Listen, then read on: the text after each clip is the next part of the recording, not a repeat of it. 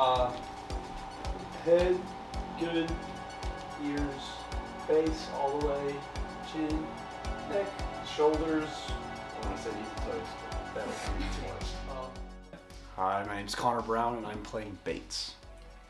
Can you tell us a little bit about necromance? Um, it's really f- cool.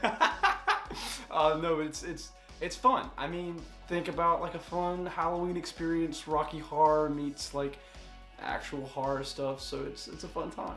I, I do I not say the word horror to your liking? is that what it is? um, no, but you should definitely come and see it. Uh, not only because it's really fun and it's really fresh, I think in terms of like comedy and stuff, but it has a good message in there. So just uh, watch out for that, I guess. What what good message? what good message? Don't go home with strangers. So I've done some Zoom performances uh, over the summer, which were interesting, and there's a space for that. But you know, trying to do live theater for an actual crowd is a different monster entirely. Um, we're both. Do you like that? Yeah, I did like that. You know it's it's one of those things where you have to gauge not just the safety of your actors but the safety of your audience at the same time. And since it is such a small crowd um, we can kind of gauge the safety of that a lot easier than if we were in a 40,000 person theater you know? Uh, so it's it's fun it's interesting and i just think um, it has its own challenges but those challenges lead to some fun uh, findings. So it's definitely going to be something you want to see Awesome. Thank God we're not performing at the Super Bowl. i don't know 40,000 people All right, that's Deepak. Only a few words. Necromance is scary, sexy, and really f***ing funny.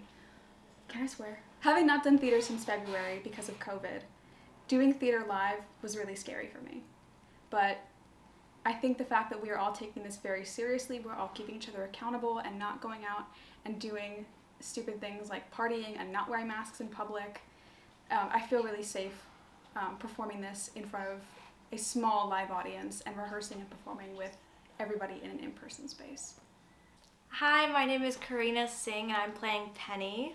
I love this show because it mixes so many things that we love about this time of year. It's creepy, but it's also very cute, I think, in my opinion.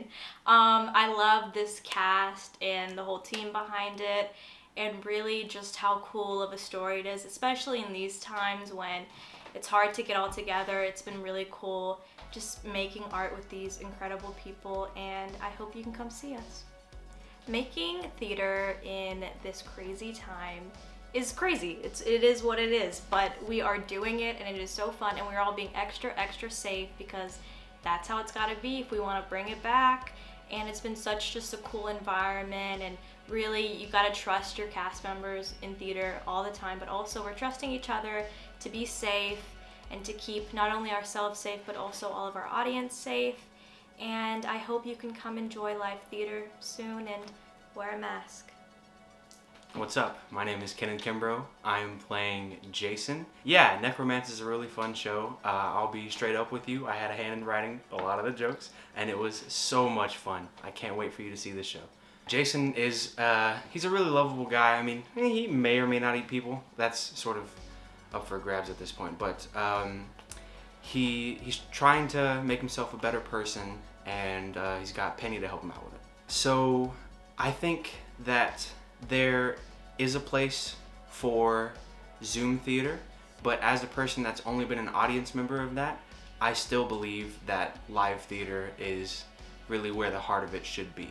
We're being safe, we're having a very limited audience, we're wearing masks, the audience is wearing masks, um, everything is being taken with the utmost precaution, and we're still having a great time doing it.